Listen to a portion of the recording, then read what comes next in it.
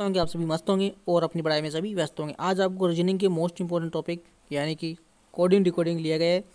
आपके लिए topic wise chapter wise आपके लिए जो सीरीज़ चलाई जा रही है, उसमें आपके तीन चैप्टर कंप्लीट हो चुके हैं। आज आपके लिए चौदह चैप्टर होगा, जिसे आपको ध्यान से देखना है और पूरा देखना है, ठीक है? जो एग्ज़ाम की दृष्टि से सभी महत्वपूर्ण क्वेश्चन लिए गए हैं। आपके सामने फ़र्स्ट क्वेश्चन दे रखा है आपके सामने। प्रथम पच्चीस सम संख्याओं का योगफल ज्ञात करें। ये क्वेश्चन हमने पहले कल भी करा दिया, लेकिन फिर आज से रिपीट करवा रहे हैं, ठीक है? तो इसको आसान भाषा में आपको समझना है।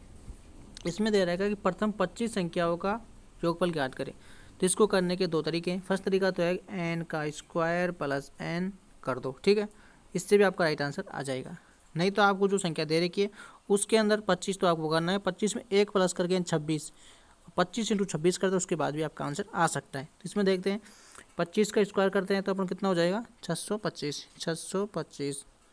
और पच्चीस ऐड कर देना है, ठीक है? तो ये हो जाएगा छः सौ पचास, ओके?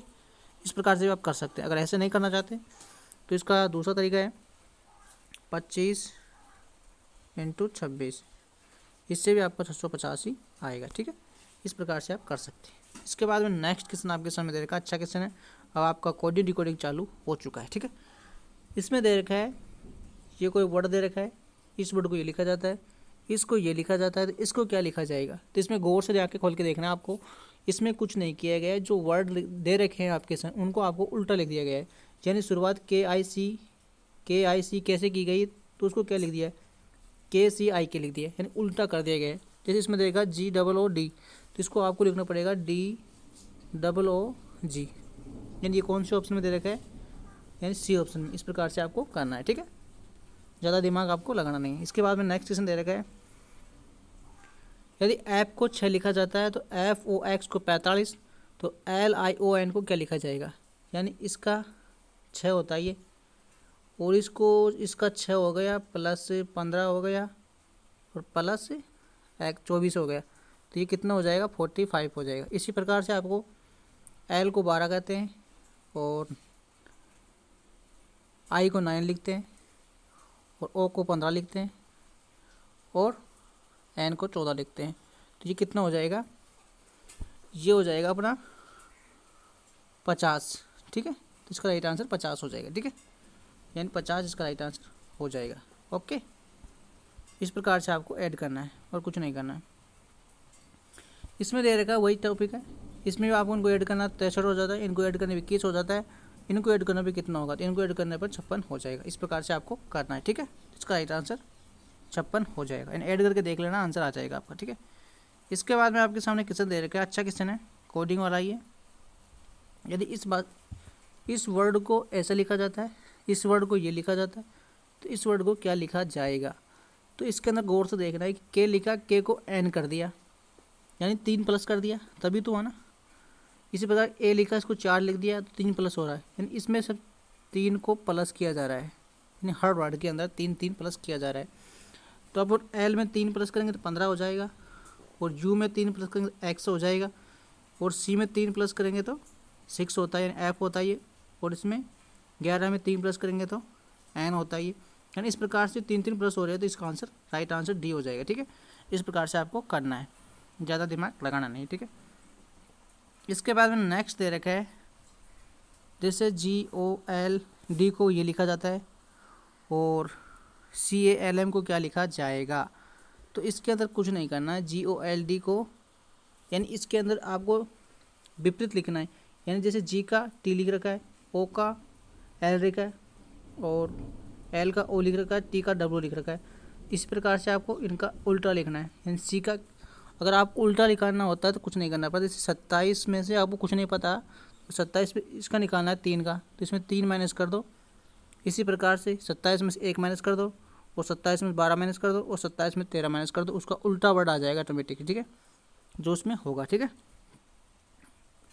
इस प्रकार से आपको करना है। उल्टा करने पर आपका जो आंसर आएगा, ये आ जाएगा, ठीक है? लेकिन आप सत्ताईस का यूज़ करके भी कर, निकाल सकते हैं। अगर आपको याद है तो कोई दिक्कत नहीं है फिर। इसके बाद में नेक्स्ट दे रखा है यदि चार डी को चार लिखा जाता है, इसको छब्बीस, इसको क्या लिखा जाएगा? तो वही है, इसको ऐड कर देना आपको। यानी बारह प्लस नाइन प्लस पंद्रह, प्लस चौदह। तो ये कितना हो जाएगा? फिफ्टी। यही अपना आंसर हो जाएगा, ठीक है? इसके बाद नेक्स्ट दे रखा है आपके सामने। यदि किसी भी कुछ भाषा में एम ए एन जी ओ को ये लिखा जाता है, इसको ये लिखा जाता है तो इसको ये लिखा, क्या लिखा जाएगा? तो इसके अंदर क्या किया गया है? यानी इसमें एम से दस जे पे आ गया है तो तीन माइनस फिर ए से डी पे आ गया तो तीन माइनस और चौदह से ग्यारह पे आ गया तीन माइनस, यानी तीन का रूल चल रहा है इसमें। उसमें आपको तीन प्लस करना पड़ता था, इसमें तीन आपको माइनस करना है, ठीक है? सभी में। तो आपका आंसर आ जाएगा। तो इसमें आपको माइनस करने तो एल आई एम सी को माइनस तीन तीन करना कितना आ जाएगा? तो वही सत्ताईस में से घटा दो। आपका जो भी संख्या लानी आपको, सत्ताईस में नहीं, ये नहीं इस प्रकार से नहीं होगा। सही तीन तीन करना पड़ेगा आपको ये गलत हो गया। ये तो आप उनको विपरीत निकालने के लिए होता है। यानी वर्ड को विपरीत निकालना यानी एक का उल्टा क्या होता है? वो सत्ताईस में घटा के देख सकते हैं आप, अगर आपको नहीं आता है, ठीक? तो इसमें तीन तीन माइनस करेंगे तो कितना हो जाएगा? यानी बारह में से तीन गए तो नौ बच रहा है, यानी ऑप्शन ये भी राइट कर रहा है, ये भी बता रहा है, ये भी बता रहा है, ये कटी गई और सिक्स यानी ऑप्शन ही गलत है ये। दोनों ऑप्शन ही गलत हो रहे हैं इसमें, ठीक है? जैसे इसमें आंसर हो जाएगा बारह। बारह में से तीन गए तो नाइन यानी आई बच गया। और नौ में से तीन गए तो छः यानी ए बच गया। और तेरह यानी दस बच गया। सी तीन गया तो कुछ नहीं बचा यहाँ पे। ठीक है, इसके बाद ए बचेगा क्यों नहीं? अपन को कुछ नहीं करना पड़ता। जैसे तीन जा रहा है तो अपन को कुछ नहीं करना पड़ता है। इसमें चौबीस आ जाएगा, उल्टा हो जाएगा वो, ठीक है? यानी कि एक्स हो जाएगा। यानी एक्स हो जाएगा ये, ठीक है? कितना हो जाएगा? एक्स ठीक है? और इसमें हो रहा है ए तो तीन ऑप्शन गलत है, लेकिन इसमें साफ़ आती है। इस वजह से ये गलत हो रहा है, लेकिन तरीका यही रहेगा, इसमें तीन तीन माइनस करना पड़ेगा, ठीक है? आप देख लेना एक बार, ठीक है? इसके बाद में नेक्स्ट देखते हैं, ये ऑप्शन गलत है, ये। ऑप्शन गलत है, ठीक है? इसके बाद में देखना नेक्स्ट है। इसमें कुछ नहीं देगा।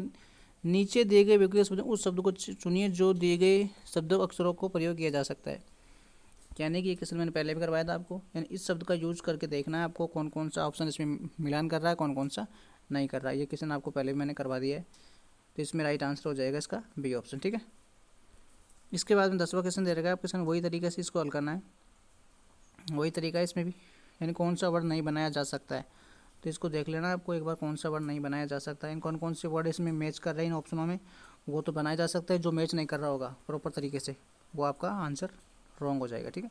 और यही इसका आंसर होगा डी सी ऑप्शन इसका राइट आंसर हो जाएगा। इसके बाद में आपके साथ नेक्स्ट टॉपिक चलेगा, दिशा वाला, जो अगला चैप्टर में होगा ये एंड फाइव नंबर का चैप्टर होगा, उसमें आपके लिए फाइव नंबर का जो वीडियो बनाया जाएगा, उसमें इसको लिया जाएगा, है नहीं ठीक है? आज का वीडियो यही खत्म करते हैं।